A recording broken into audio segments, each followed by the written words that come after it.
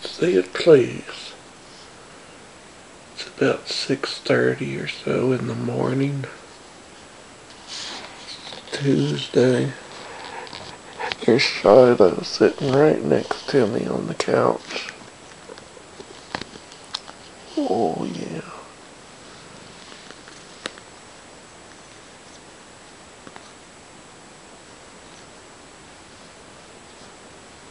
Kind of watching it turn daylight out there.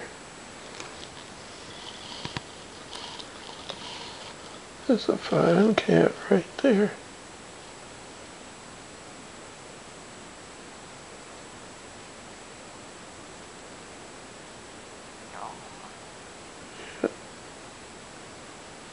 Let's see it, please.